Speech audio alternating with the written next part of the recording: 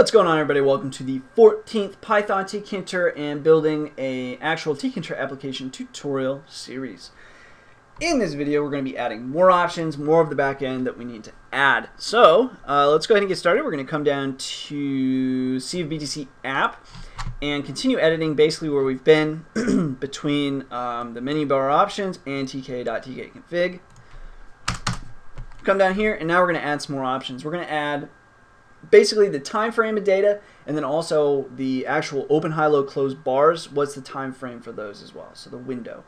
So we're going to go ahead and say data tf and this will be the time frame of data. So are we going to look at one day of data three days of data week of data so on. So data tf equals tk dot capital m menu uh, and then we've got menu bar and then we're going to also allow this to be a tear off. So tear off equals one. And then we're going to say data tf uh, dot add underscore command. The label for this command, or, sorry, it's undercase L. Label will equal tick.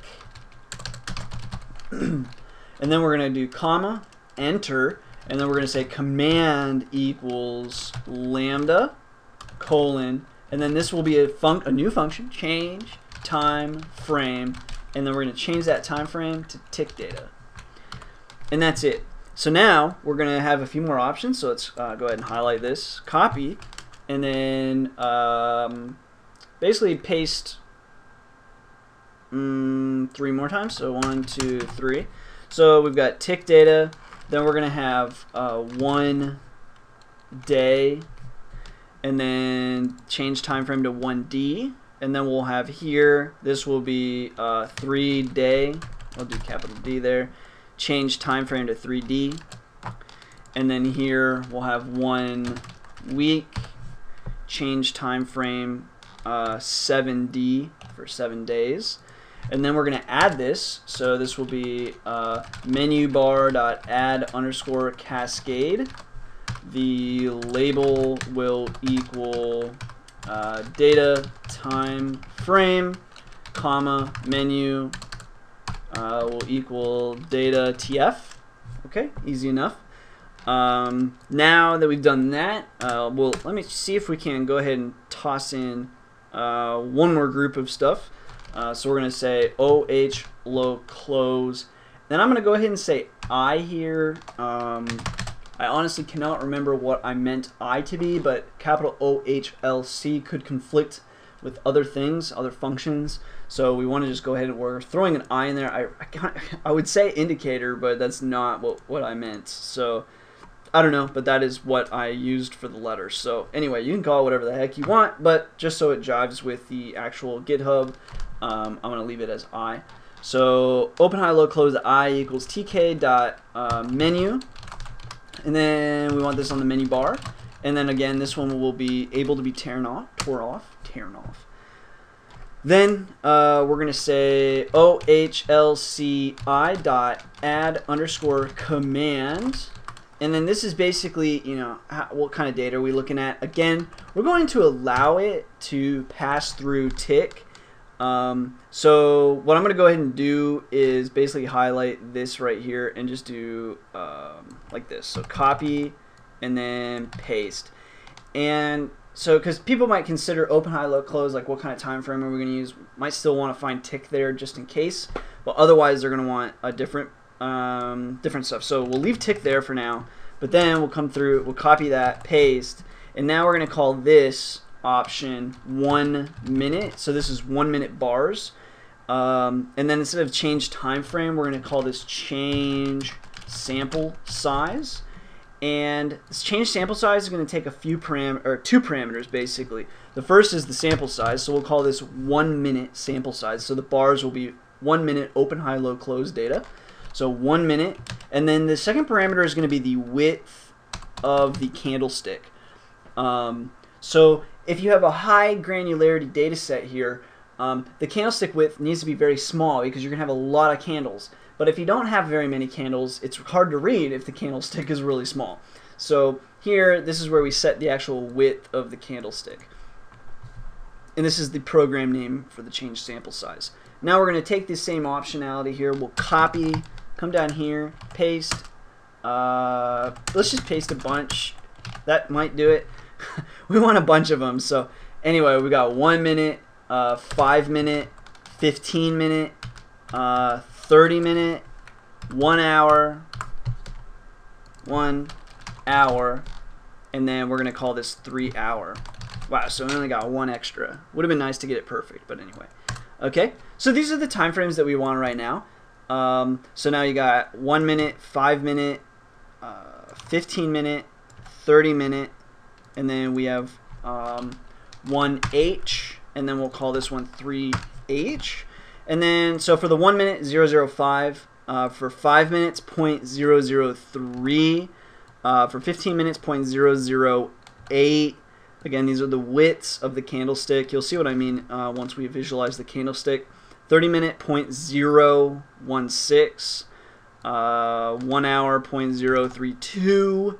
And then finally, 0.096 for 3 hours. Finally, uh, whoops, uh-oh. Finally, we'll come down here and we'll just say menu bar dot add underscore cascade label. Wow, how is that label? label. I'm going crazy, guys. Uh, label, open, high, low, close, interval. And then the menu that we're adding here is actually OHLCI. Okay. So, looks like I've jammed that into about six minutes, so we have time to actually make these functions now. So, if you are lost, you might want to pause right here and make sure you got all that data. Otherwise, we're going to continue on without you. So, moving up to the very, very top, now we've got a couple more, uh, well, really just one major um, constant basically to add here. It's not really a constant, it's a variable, but whatever.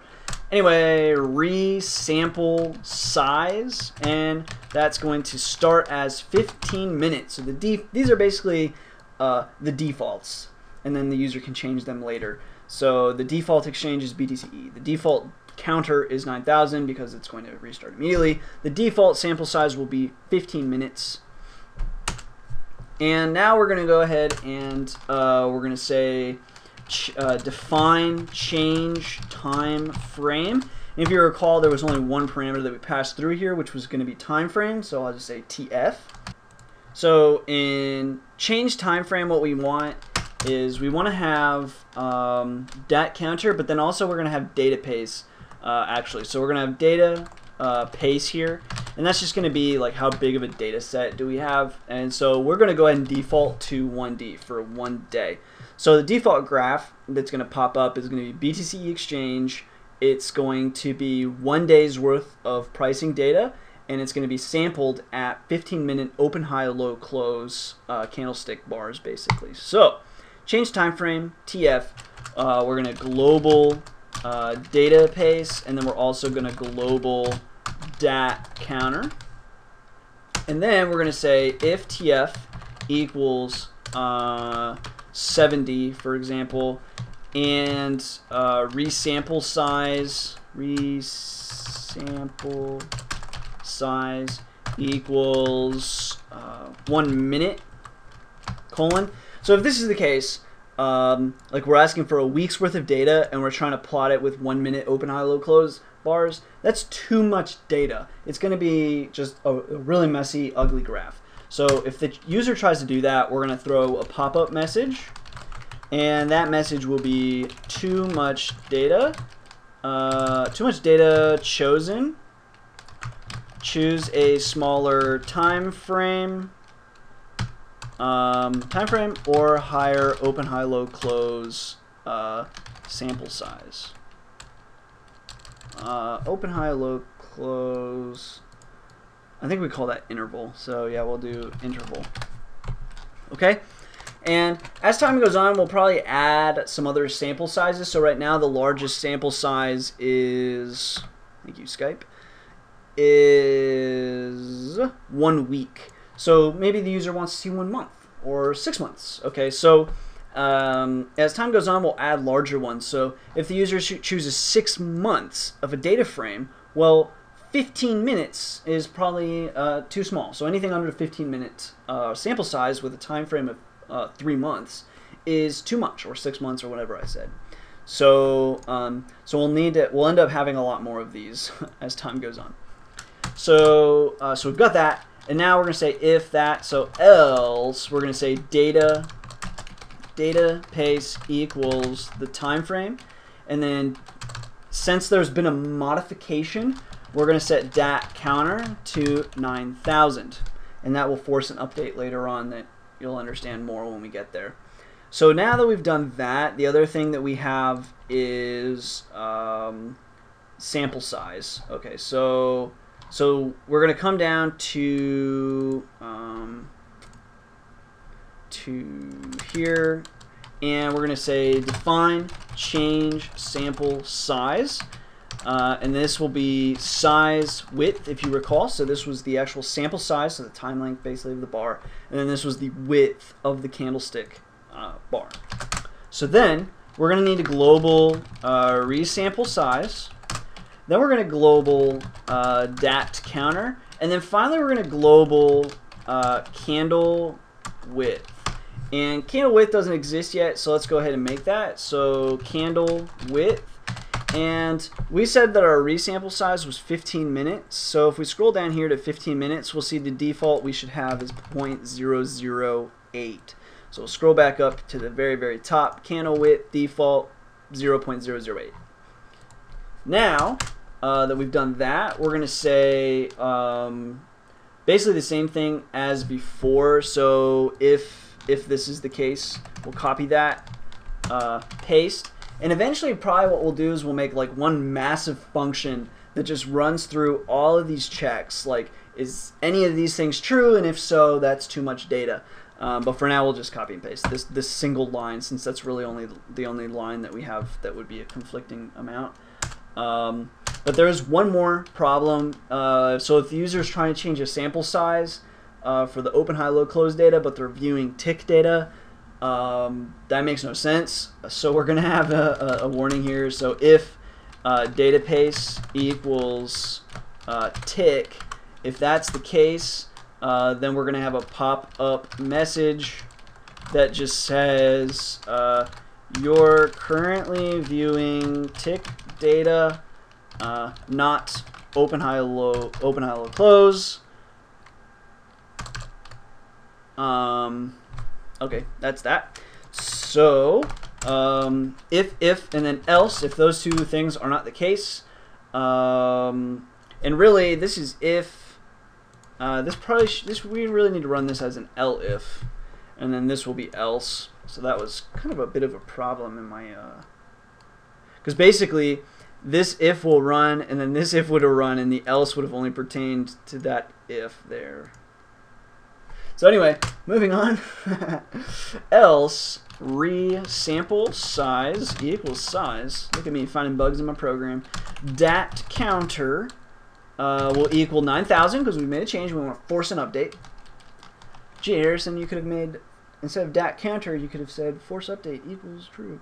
Anyway, uh, dat counter equals 9,000. And then finally, candle width equals width. Boom, done. So now um, we've, oops, that should be width like that. Now we're ready to go. Let's go ahead and test this. And to test it, let's make our time frame seven days and choose a sample size of one minute. See what happens. Run it. Hopefully no errors. I don't see any yet. We'll hit agree. So now we'll do uh, one week time frame there. And then we'll go open, high, low, close, one minute. Oh, got a bug. Name, TF, not defined. Um, That's interesting because it's we passed TF here.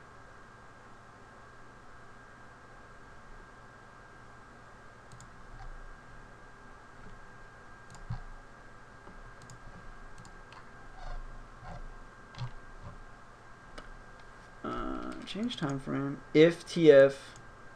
Makes no sense. I'm looking at it right now as something we're passing through a function. Hold on. Hold on now, everybody. Wait. Name, TF not defined. If TF equals 7 day and resample size, that's line 52. In change sample size, that's here.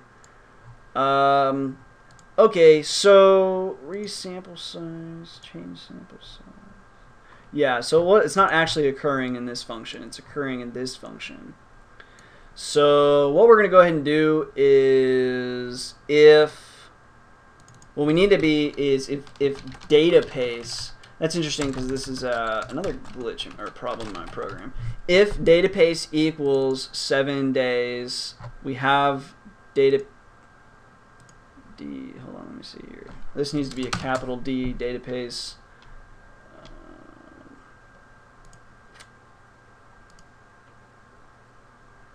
Okay, let's try that again. Um,